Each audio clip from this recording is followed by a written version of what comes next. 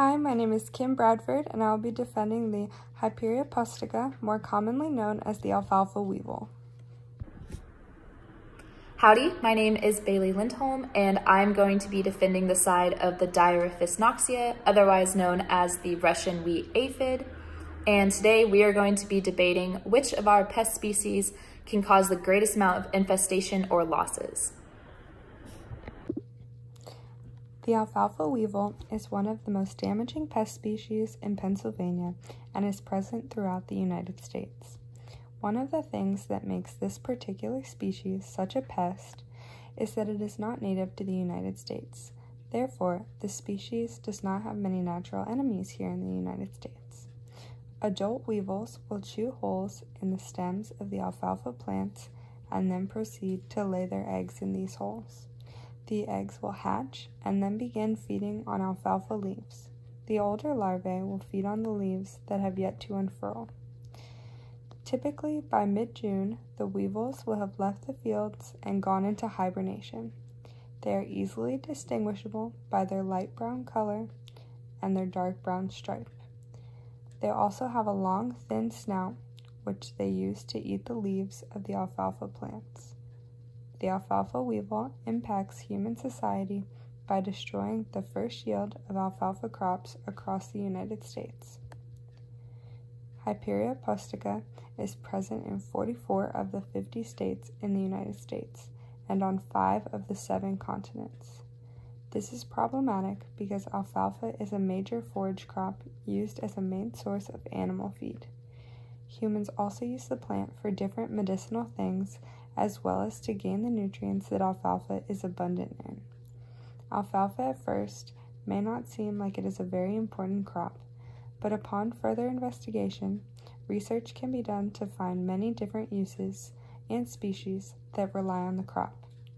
During infestations, humans are forced to find different food sources for the animals that are reliant on the crop and different sources for the nutrients that the crop provides. The Russian wheat aphid is an aphid originating from Central Asia and southern parts of Russia. It's most commonly known for causing significant losses in crops, specifically cereal grain crops such as wheat and barley. This invasive species can grow to be about 2 millimeters long, is pale green in color, and is easily distinguished by its double tail. The aphid prefers to feed on leaves of the upper parts of plants, and the saliva of the aphid is toxic to crops, which causes a purple or white striping to the leaves of the cereal plants and significantly stunts the growth of the plants. The Russian wheat aphid is also capable of modifying the growth of its host plant. Wheat aphids are one of the most destructive pests that exist to wheat and barley crops, but they are also sources of dangerous viruses, such as the barley mosaic virus and sugarcane mosaic virus. The Russian wheat aphid reproduces asexually, this asexual rapid reproduction is the key to the explosive population growth achieved by many aphid species, making it a major threat to all plants around us.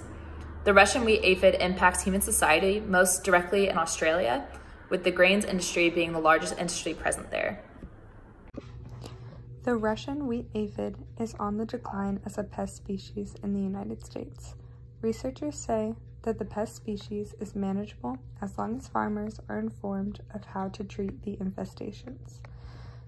There have been an increase in the number of resistant cereal crop varieties and also in the natural enemy populations. Another way to prevent and get rid of wheat aphid infestations is to use insecticides and also a treatment that can be used before the seeds are planted. It has also been studied that delaying planting at the beginning of cereal crop seasons can significantly reduce infestations. The aphid is only present in 18 of the 50 states here in the United States, so it is less widespread than the alfalfa weevil. The Russian wheat aphid also targets mainly the early development of a plant, and they target only the leaves, whereas the alfalfa weevil feeds on the entire alfalfa plant, stem, and leaves. The Russian wheat aphid is only detrimental to cereal crops when they're in their mature stages. The alfalfa weevil harms the alfalfa plants for their entire life cycle, starting from birth and continuing all the way up to maturity. Then they continue the cycle, reproducing inside the stem of the plants once again. So, since the 1950s, research has been done to discover new tools for managing the alfalfa weevil population, and numerous ways have been found to significantly reduce the population of the pest.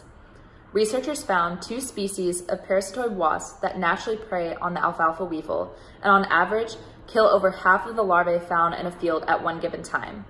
These species of wasps, as well as a few species of fungi, are playing an important role in keeping the population low in a safe and natural way. In 2014, the University of California discovered that the alfalfa weevil experienced a 70% overall reduction in the numbers of larvae present.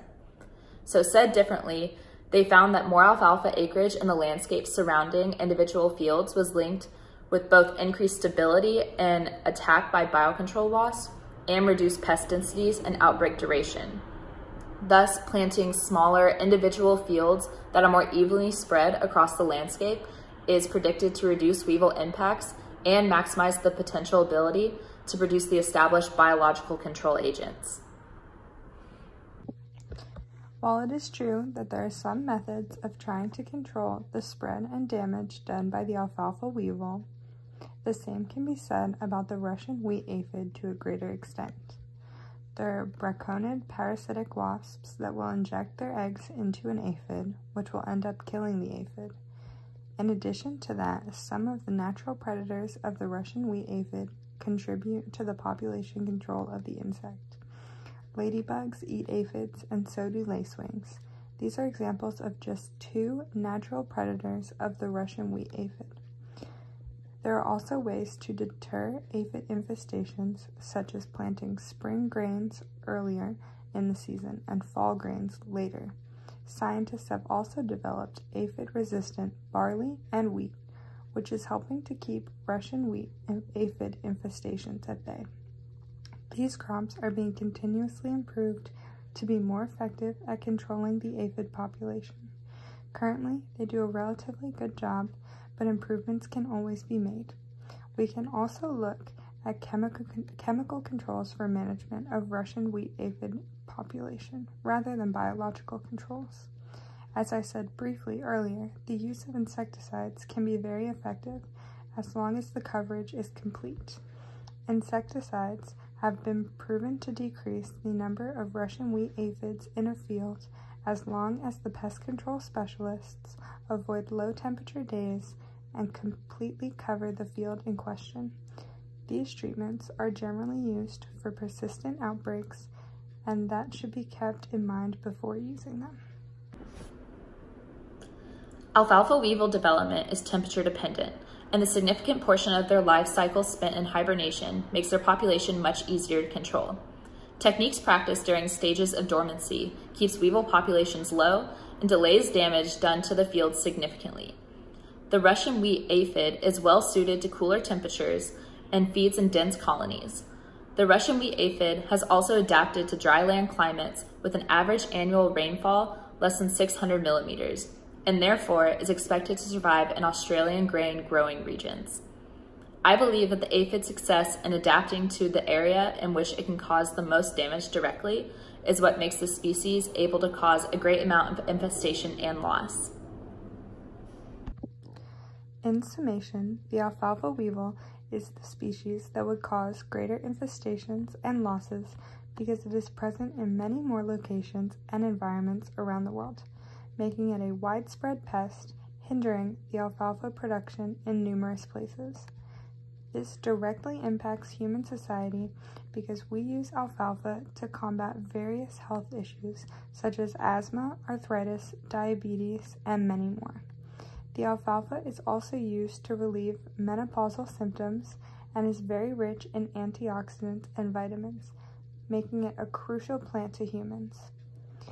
It is also necessary to, uh, to animals because it is a forage crop, so it is used to feed animals as well. If the alfalfa weevil were to destroy large amounts of the alfalfa crop, we would definitely suffer and struggle to feed the animals that have alfalfa as a main food source. This comes back on humans because we value the animals that eat alfalfa for, their for our own benefits, such as the dairy cow, chickens, horses, beef cattle, and more. All of these animals are essential to human survival because they produce vital household products such as milk, eggs, beef, butter, and more.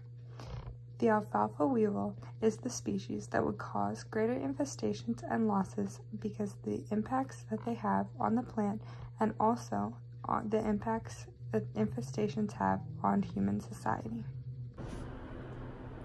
So to summarize, I believe the Russian wheat aphid would cause the greater infestation and loss because it is a species with an impressive survival rate and is known to overcome resistant strains of wheat. The alfalfa weevil species has already been decreased using rather easy and natural mechanisms.